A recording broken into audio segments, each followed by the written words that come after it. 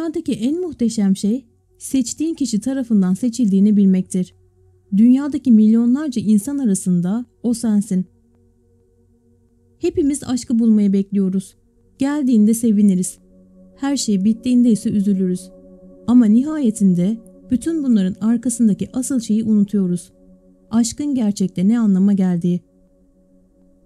Aşkın kalbin daha sık ve daha yüksek sesle atmasına neden olan büyülü bir duygu olduğuna eminiz. Kişi kelimelerle tarif edilemeyen özel bir duruma girer. Tıpkı bir peri masalı gibi. Bu hissin sonsuza dek sürmesi gerektiğine inanıyoruz. Solmaya başladığı zaman da sevginin gittiğine inanıyoruz. Ağlıyoruz, üzülüyoruz ve yeni bir aşk bekliyoruz. Tahmin edeceğin gibi senaryo sürekli tekrarlanıyor. Aslında tüm bunlar saçmalık. Duygularını unut. Gerçek aşk her şeyden önce bilinçli bir seçimdir. Bir kişiyi sevmek kişisel tercihindir. Ne olursa olsun, kim ne derse desin, her gün, her dakika, her saniye bu seçimi yapmalı ve ilişkiler üzerinde çalışmalısın. Ve bu oldukça zordur. Aşk bir eylemdir. Aşk taahhütler, eylemler ve seçimlerdir. Kavga ederken ve işler kötüye gittiğinde bile kalmak için bir seçim yapabilirsin. Kalıp ilişkiyi kurtarmaya çalışırsın ve seçtiğin kişi görünüşte çok çekici olmasa bile yine de bir seçim yapabilirsin. Onunla kalıp tüm hayatını sevebilirsin. Şimdi şöyle diyeceksin.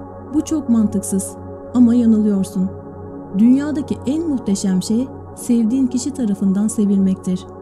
Gerçek aşk olgun ve bilgedir. Bitmez. Çünkü onu sen seçtin. Gerçek şu ki sevgi acı getiriyor ve fedakarlık istiyor. Bu her zaman basit değil ama karşılıklı sevmek harika bir duygu. Sonsuza dek mutlu yaşamış olan tüm çiftlerin ortak bir yönü var. Her biri kendileri için her zaman ve her koşulda birbirlerini seçmek için koşulsuz bir taahhütte bulundular. Birbirlerinin kusurlarına ve yaptıkları eylemlerine rağmen her şeyi halledebileceklerinden eminler. Sonuçta bilinçli bir seçim yaptılar. Balayı sonsuza dek süremez. Zamanla birbirinizin hem iyi hem de kötü, neşeli ve sıkıcı tüm yönlerinizi görürsünüz ve bununla yaşamaya alışırsınız. Artık geriye çok daha önemli bir şey kaldı. İçinde yaşadığınız ve çocuk yetiştirdiğiniz bir ev. Kendiniz olabileceğiniz bir yer. Her zaman seni bekleyen, akşamları kafanı omzuna yaslayıp her şeyi anlatabileceğin biri.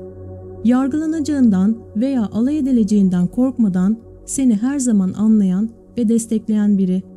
Seni gerçekten sevecek biri. Yorgun, neşeli veya sıkıcı olduğunda bile seni sevecek. Hayatın boyunca sevdiğin kişinin yanında neşe ve güven duygusu hissedeceksin. Bir ilişkide bu müthiş duygudan daha önemli bir şey yoktur.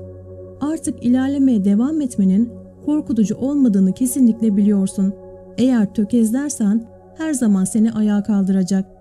Gerçek aşk hem kederde hem de sevinçte yakın olmak anlamına gelir. Sorunlardan kaçmak değil, onları birlikte çözmektir. Çünkü aşk sürekli bir uzlaşmadır ve çaba gerektirir. Birini gerçekten sevmek ve sevilmek harika bir duygu. Bunu daima aklında bulundur. Çünkü duygular gelir ve gider. Ama gerçek sevgi işte o her zaman kalır.